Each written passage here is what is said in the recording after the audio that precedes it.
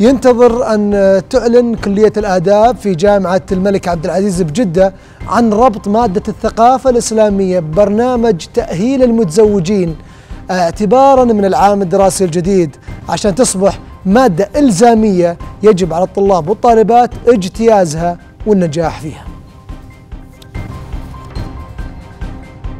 كلية الآداب في جامعة الملكة عبد العزيز والوقف العلمي التابع للجامعة عن ربط أول مادة دراسية ببرنامج تأهيل المتزوجين واعتبار المادة متطلبا دراسيا يجب على الطلاب والطالبات اجتيازه والنجاح فيه.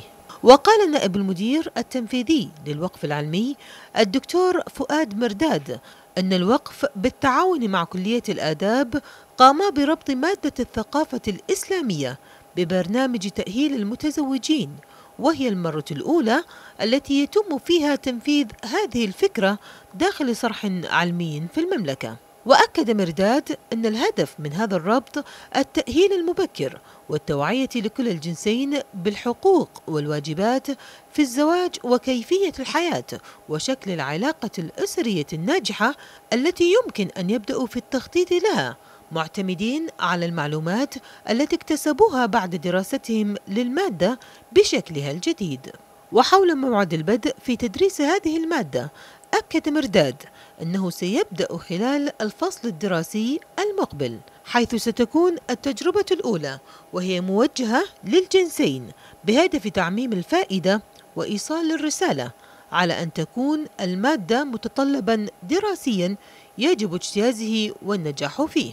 يذكر أن خبراء واختصاصيين أعادوا نسبة ارتفاع المشكلات الزوجية وحالات الطلاق في السعودية إلى عدم وجود توعية مبكرة وتأهيل لكل الزوجين قبل دخول غمار الحياة الزوجية. وعشان نكمل في هذا الموضوع ينضم لي هاتفيا من جدة الدكتورة زهرة المعبي مستشارة المستشارة الأسرية ومدربة تأهيل المقبلات على الزواج. أهلا دكتورة. يا هلا مرحبا. يعطيك العافية. يسلمك ربي يخليك إن شاء الله. إيش رأيك في في في, في هذه الخطوة اللي اتخذتها جامعة الملك عبد العزيز وصارت متطلب جامعي لطلاب الجامعة من الجنسين؟ والله هي خطوة قوية وجريئة وبادرة رائعة. أه. يعني تحيط بالشباب والشابات إنهم يتفهموا حياتهم الزوجية في المستقبل يتغلبوا على كثير من الصعاب قبل ما يدخلوا في مضمار الحياة الأسرية. صحيح. ولكن لكن دكتورة ما تشوفين إنه يعني بعض الشباب الآن ما يحتاجون مادة يدرسونها لأنه مش أغلب الشباب في الجامعة موجودين، محتاجين شيء نربيه فيهم من من صغرهم. والله شوف أنا أبغى أقول لك يعني آآ آآ في أشياء م. أساسية إحنا نعرفها أيوة. لكن في حاجات يعني تغفل على الشباب وعلى الشابات أه. يحتاجوا دعم اضيف إلى ذلك إنه فوق الدعم هذا يحتاجوا توجيه يحتاجوا تقويم يحتاجوا يعني أحد يعني يوضح لهم الرؤية بدل ما بعد ما يتزوجوا توقع الفاس في الرأس يا ريت أحد عرفنا يا ريت أحد قال لنا إحنا ما نعرف أو لأنه نحن يعني إحنا لما أخذنا الدورة بندرب فيها المقبلات على الزواج على أساس إنهم إيش بنقول لهم؟ بنقول لهم يعني تلاشوا كثير من المشاكل اللي تواجه حياتكم، لا تفشوا أسرار حياتكم الزوجية، لا تتكلموا مع كل من جاء وراح، حاولوا إنكم إنتم تستشيروا بعضكم فيما يعني الأشياء اللي تخصكم والأشياء اللي هي في مصلحتكم، حاولوا إيه. قدر الإمكان إنكم تتغلبوا على المصاعب والمشاكل اللي في حياتكم بينكم وبين بعض. بعدين أكبر وأقيم يعني مبدأ موجود في الحياة الزوجية اللي هو التغافل. هذه كثير من الشباب صحيح. كثير من الشابات للأسف الشديد يعني أعتقد إنهم يعني يعني يجهلون. أنا ما أقول تغافلوا إلى حد الغفلة. أها. أنا أقول تغافلوا إلى حد يعني إنه الواحد يعني يغمض عينه مرة يغمض عينه ثاني مرة ثالث مرة مع التوجيه. المباشر التوجيه اي بس بقى يا دكتورة بس بعض بعض البنات وأيضا بعض بعض العيال ما يبغى يغمض ابدا يعني قاعد يشوف كل غلطة وجالس على التكة. لا ما هي إحنا هنا؟ عشان كده بنقول آه لابد إنهم يتعاملوا مع آه أزواجهم آه بالمبدأ هذا. مبدأ الثقافة ترى جدا رائع ومهم وأساسي في الحياة الزوجية. أضف إلى ذلك الاحترام. يقول لك آه. حب لا مو حب. الاحترام هو اللي يجيب الحب. أها. لأنه الحب بعد الزواج بيموت. بتنشا حاجة ثانية اللي هي الرسالة الإلهية اللي كتب لنا هي ربنا في القرآن الكريم. وجعلنا بينهما مودة ورحمة. صحيح. مودة ورحمة. مو حب.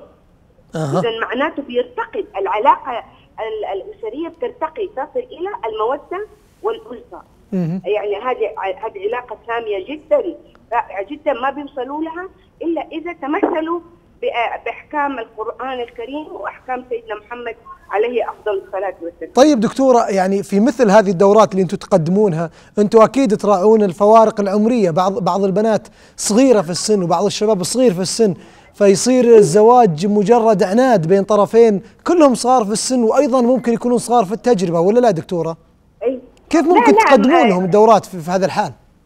لا بنقدم لهم حتى لو كانوا صغار في السن. وبعدين بيني وبينك يعني الآن ما عاد أصبح يعني شيء يعني آه، آه، هذا الموضوع يعني لا يعني ما في لا صغير ولا كبير هي هي ال- الحياة ال- الزوجية مسؤولية طالما هو وافق عليها وهي وافقت عليه ما في صغار في السن الم- المهم انه موافقه وايجاب و- و- وعندهم استعداد على انهم يبنوا اسره مع بعضهم البعض وي- ويكونوا حياتهم فيما بينهم البين أه، دكتور بعدين يعني أي. آم، آم، آه، في الجيل هذا الجيل الأيام هذه جيل النشء وع- وال- والوعي واعيين وفاهمين وعارفين كل حاجة بيقعوا أحيانا بس في بعض الاخطاء آه، آه، وبعض ال- الهفوات.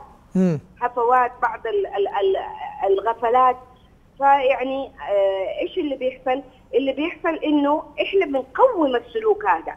إحنا بن- بنوجهه الوجهة الصحيحة يعني نعدل البوصلة نعدل توجيهها. هي ماشية صح لكن أحيانا تحدث بيها أو تحدث بيه وإحنا نو- نوريهم إنه هو ترى هذا الطريق الصح لأنه إحنا بناخذهم من جميع الجوانب الإجتماعية الأسرية ال- الصحية. ال- ال- ال- العلاقة الحميمية ال- الحوار الناجح بين الزوجين آه، يحسن اختيار ال- الوقت ال- اللي يتكلموا فيه مع بعض يتناقشوا فيه مع مشاكلهم مع بعضهم يحترموا آراء بعضهم يحترموا يقدروا بعضهم البعض فهي انت يعني هذه ال- المرحلة إيه. لابد إنه آه، آه، لو أخذوا جرعات. تنشيطيه قبل ما يعني يقدموا على الزواج ثق تماما إنه إحنا فعلا بن يعني آه، بنقضي على نسبة كبيرة من نسب الطلاق بين صحيح. الشباب ال- المقبلين على أو الشباب المتزوجين اللي هم يعني آه، مرحله السنة الأولى هذه آه. إحنا نخاف منها وفترة